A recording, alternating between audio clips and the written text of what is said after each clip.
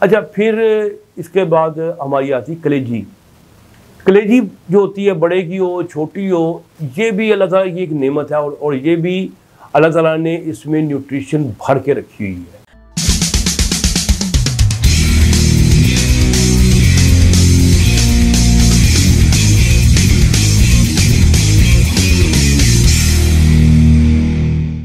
यानी कि एक तो सबसे पहले तो इसमें बहुत ज़्यादा आपके होता है प्रोटीन्स। प्रोटीन गोश्त में भी थी, लेकिन कलेजी भी किसी से कम नहीं है। इसमें भी हर किस्म की प्रोटीन पाई जाती है।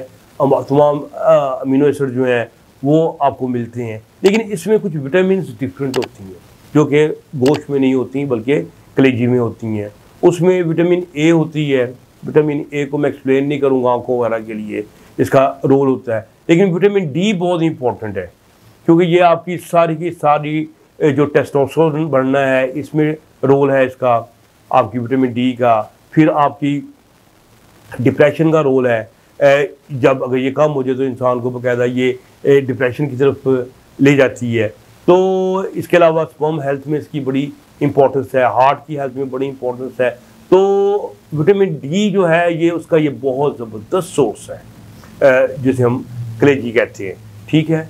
फिर विटामिन के आ जाती है। विटामिन के की इम्पोर्टेंस जो है, ख़ास तौर पे ज़्यादा इम्पोर्टेंट इसलिए है क्योंकि विटामिन के वन और के टू ये बहुत इंपॉर्टेंट और के टू की तो इम्पोर्टेंस नई से नई सामने आ रही है कि ये आपकी ब्लड वेसल में से कैल्शियम को निकालती है और आपकी बोन्स के ऊपर डिपॉजिट करती है। तीजा ये निकलता है कि आपकी वेसल्स नरम हो जाती है इलास्टिक हो जाती है। और जब खून का दबाव बढ़ता है तो ये फैलती हैं और खून आपका नफ्स की तरफ़ जाता है और इरेक्शन ज़्यादा होती है। और इरेक्शन ना होने की एक वजह आपकी वेसल्स का सख्त हो जाना, उसमें कैल्शियम का जम जाना, जिसको विटामिन के टू जो है, वो ठीक करता है। फिर विटामिन बी ट्वेल्व है, इसको मैं बता चुका हूँ ऑलरेडी फिर आयरन है आयरन को कौन नहीं जानता ये अनीमिया में और आपके लिए कितना ये ज़रूरी है। ऑक्सीजन कैरिंग कैपेसिटी सारी। फिर कोलिन एक ऐसी चीज़ जिसको लोग नहीं जानते। कोलिन वो चीज़ है जो कि आपका एसिटाइल कोलिन बनाती है। और एसिटाइल कोलिन वो न्यूरो है जो हमारी बॉडी का सबसे ज़्यादा इस्तेमाल होने वाला न्यूरो है, जो कि पैरासिम्पथेटिक नर्वस सिस्टम के ऊपर भी काम करता है। और पैरासिम्पथेटिक नर्वस सिस्टम वो है जो आपको सेक्स में और भूख में मेन रोल प्ले कर रहा है। ठीक है? तो आखिर में हम बात करेंगे कोलेस्ट्रॉल की। लोग कहते हैं कोलेस्ट्रॉल बहुत होता है। एक पहली बात तो बताऊँ कोलेस्ट्रॉल जो है ये इतनी ख़तरनाक चीज़ नहीं, ये आपका टेस्टोस्टेरोन विटामिन डी और आपके तमाम जो हार्मोन्स जिसे हम कहते हैं स्टीरॉयड हार्मोन्स ये उनका बाप है। अगर ये कम हो जाए तो आपका टेस्टोस्टेरोन लेवल कम हो जाता है। तो टेस्टोस्टेरोन जैसे जहाँ से बनता है, अगर यही कोलेस्ट्रॉल डाइट से जाएगा तो ये आपके सीरम के कोलेस्ट्रॉल को बहुत ज़्यादा नहीं बढ़ाएगा। वो कैसे? वो इस तरह होगा कि जब आप सीरम कोलेस्ट्रॉल जो है, ये आता है आपके लिवर से, जब आप डाइट में कोलेस्ट्रॉल लेते हैं ज़्यादा तो हमारा जो लिवर है, वो सुकून में आ जाता है, वो कोलेस्ट्रॉल कम बना देता है। वो कहता है, मुझे काम करने की ज़रूरत ही नहीं है, क्योंकि कोलेस्ट्रॉल बाहर से आ गया है। सो सीरम का कोलेस्ट्रॉल जो वो मेनटेन रहता है।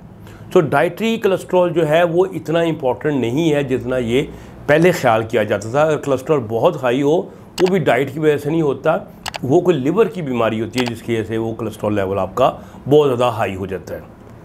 सो so, इसके मतलब भी ज़्यादा परेशान अब जो गोश्त में जिस चीज़ की कमी है जो मैं समझता हूँ वो है फाइबर की।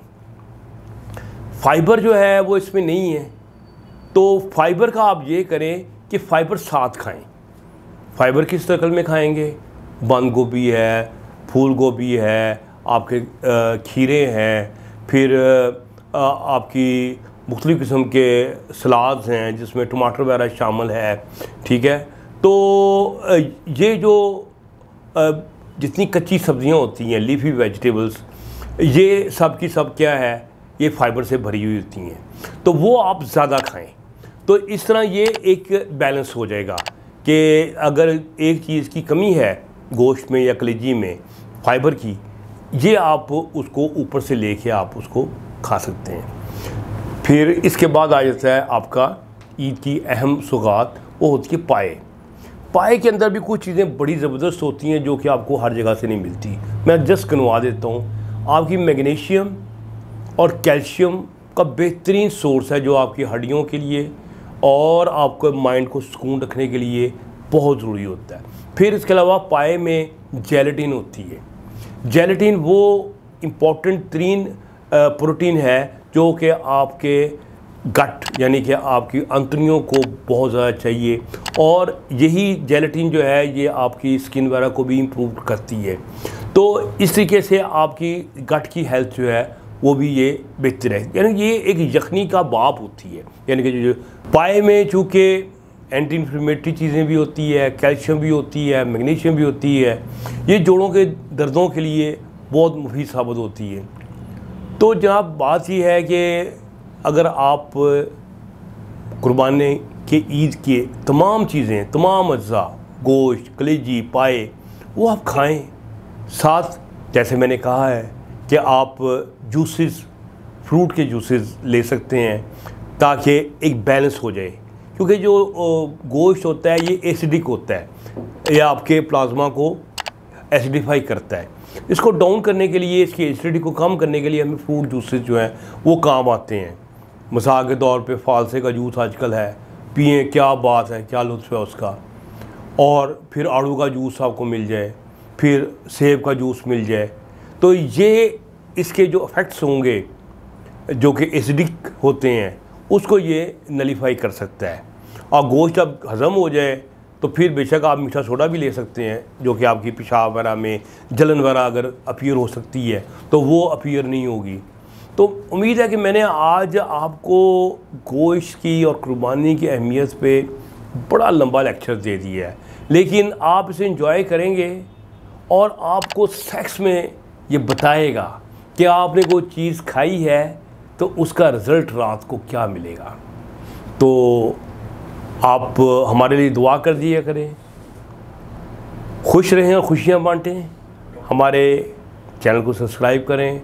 डॉक्टर बर्की को इजाज़त दें। अल्लाह हाफिज़।